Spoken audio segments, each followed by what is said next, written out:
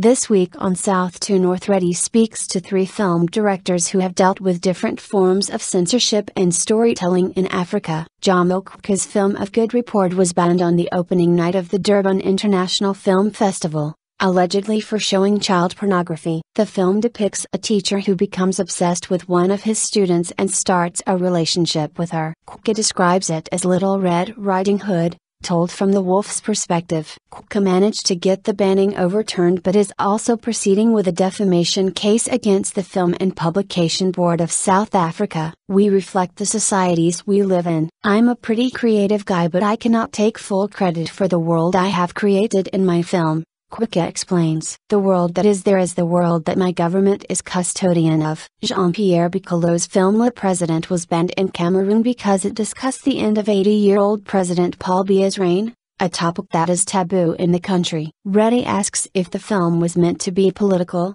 and Bekolo explains that cinema has always played a political and social function. I really think right now we have forgotten the very nature of cinema in the first place. Cinema is not neutral, says Bekolo. So very clearly, this is what is happening in Cameroon. We have an aging president who has been there for 80 years. Just to tell you, he was a minister in 1962, when Barack Obama was one year old. He's been there forever. You don't have to be a genius to think that an 80 year old man can go one day. So just by saying this in Cameroon, it is almost considered a crime. Joao Viana, the director of the Battle of Tabato, used his film to tell the story of a town in Guinea Bissau filled with musicians, but also to present what he believes is a necessary narrative about the importance of a history told without the influence of colonialism. It's very important to tell African history, because it's the perspective of colonialism. These people are fragile,